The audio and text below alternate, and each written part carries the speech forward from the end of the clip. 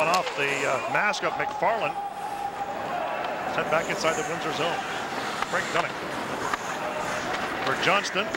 Johnston having trouble controlling it. Stolen by McFarland. Centering pass in front. Trocheck scores. Vincent Trocheck buries it. It's 1-0 Saginaw. Well, a guy that's under the microscope with NHL scouts is this guy, Vincent Trocheck, just scores a nice goal. He's having himself a good season. Currently, that's his 15th goal of season, 22 assists. He's rated number 47 overall in the world right now by the ISS report, International Scouting Service. He gave us a pretty good glimpse there of what he's all about. He may go higher than that, Brian. I know some scouts really like him, and some have told me that they, they see him going late first round. Jim didn't get it down the boards comes Nick Ebert. Ebert inside the zone, being bothered there by uh, dumped on the play Khokhlachev by 18. That was uh, Sherratt. Duininck against McFarland, steals it to the goal. Here's a shot, scores! John McFarland short-handed, and the Spirit take a 2-0 lead. Well, we talked about John McFarland earlier, Brian and I, and uh, boy, oh boy, he's just got a fire in his belly right now, and what a great effort. This is his first goal as a member of the Saginaw Spirit, and it's a big one as he gives the Spirit a two-goal cushion. His seventh of the season, first as a Saginaw Spirit, and it's a short-handed marker at that, giving them a lead. He just wins the puck on the boards, makes a great move, patience, and he finds a way to slide it underneath Troy passing him. Right there, there's a great effort, stripping the puck, and it just gets under passing him. Hinder, here's Sherratt. Sherratt passed Lockett center. so Stojanovic couldn't get the puck from Camara. Played by McIntyre. Now the Spirit play it. Sherratt up across the Windsor line. Lets the shot go, passing him the save. Played by the Spirit, 41, that's a heater. Centering pass in and they score! Justin Kea makes it 3-0 Saginaw with 10.55 to play in the period. Tom, you and I were just talking about this guy kind of off air. Justin Kea a little bit surprised with his with his offensive numbers. He is one heck of a hockey player. And take a look here. I think he kicks this off of his skate once we get the replay up. But a good, uh, he's, he's a great skater, carries himself very well on the ice. He gets involved physically. Take a look here. Play down low, puck comes out, yeah, kicks it off his right skate. And a good shot. He just reeks of hockey, that guy, Brian.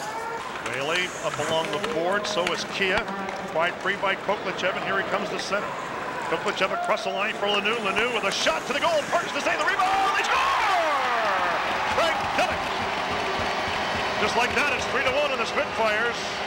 As usually their MO are usually never out of it. You know what, Bill? I was just kind of going to my notes here, and it's not very often in a period that I have to report no scoring in the first period with this Windsor Spitfire team.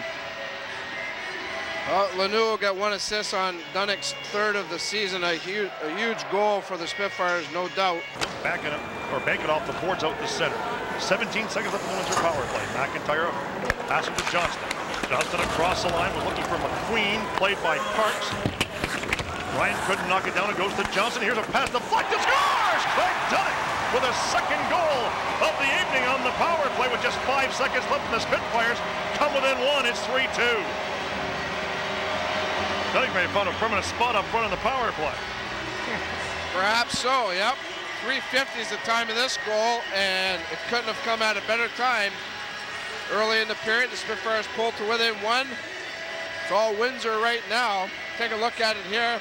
Quick shot by Johnson, and I don't know if it's going to be, I don't know if it's going to be Duininck or McQueen. I think it was Duininck. Somebody got a stick on that puck.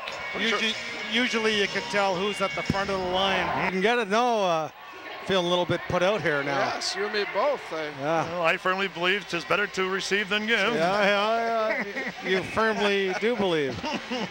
yes, you make no secret about it. Spirit to the goal, they score! Uh, uh, uh, Off the draw, a heartbreaking goal by Saginaw. That's the captain who got the goal, Jordan Szwarz. Right from the face-off, as And you it's called 4-2. it, Bill. And, and that is huge.